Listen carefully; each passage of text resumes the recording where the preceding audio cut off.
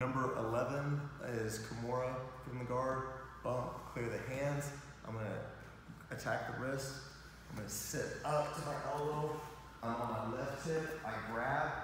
When I come backwards, I slide out to my right hip. My feet go to the corner of his hip.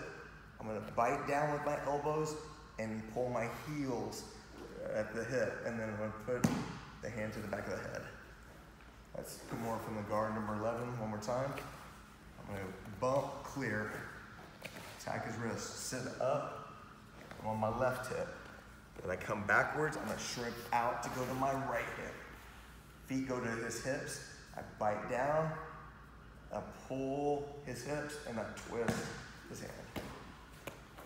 I'm sorry, Kimura from the guard.